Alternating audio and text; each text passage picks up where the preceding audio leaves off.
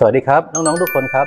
วันนี้นะครับก็มาพบกับคุณครูพี่สอนอีกแล้วนะครับ วันนี้จะมาพูดถึงเรื่องของการจัดเก็บเสื้อผ้าและเครื่องแต่งกายนะครับ ซึ่งนะครับเป็นหน้าที่ที่เราทุกคนสามารถทำได้นะครับ เพื่อช่วยแบ่งเบาภาระของพ่อแม่นะครับ เนื้อหานี้อ้างอิงนะครับ จากหนังสือการงานอาชีพป .2 นะครับของสำนักพิมพ์อจทนะครับ หน้าที่ 4 ถึง 5 นะครับ ก็นักเรียนก็สามารถเอาหนังสือขึ้นมาดูประกอบได้นะครับ กระบวนการในการจัดเก็บเสื้อผ้าและเครื่องแต่งกายนะครับหนึ่งเลยก็คือ เราต้องแยกเสื้อผ้าที่ใช้แล้วกับเสื้อผ้าที่ทำความสะอาดเรียบร้อยแล้วออกจากกันอย่าไปปนกันนะครับ โดยเสื้อผ้าที่เราซักแล้วนะครับ เราก็แยกใส่ตู้แล้วก็พับเก็บให้เรียบร้อยนะครับ ส่วนเสื้อผ้าที่เราใช้แล้วยังไม่ได้ซัก เราต้องเก็บใส่ตะกร้านะครับ โดยในการเก็บใส่ตะกร้าเนี่ยถ้าเรามีความสามารถนะครับ เราก็สามารถแยกตะกร้าออกเป็นตะกร้าถุงเท้า ตะกร้าชุดชั้นใน ตะกร้าเสื้อผ้าสีและตะกร้าเสื้อผ้าขาวก็ได้นะครับ ถ้าเป็นเป็นเสื้อผ้าที่เราใช้แล้วแล้วก็เปียกอย่างเช่นโดนเหงื่อหรือมีความเปียกชื้นเนี่ยเราก็ต้องปึงแดดหรือว่าตากลมให้มันแห้งก่อนที่จะไปเก็บนะครับ เพื่อป้องกันเชื้อราจากเสื้อผ้านั่นเองนะครับ ในส่วนของเสื้อผ้าที่เรา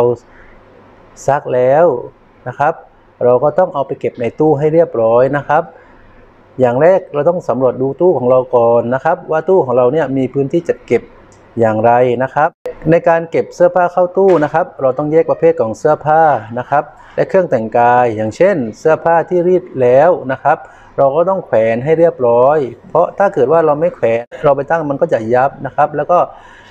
รีดไปก็ไม่มีผลอะไรนะครับ ดังนั้นต้องแขวนให้เรียบร้อยนะครับ เสื้อผ้าที่ต้องรีดอย่างเช่นชุดนักเรียนนะครับ กระโปรงนักเรียน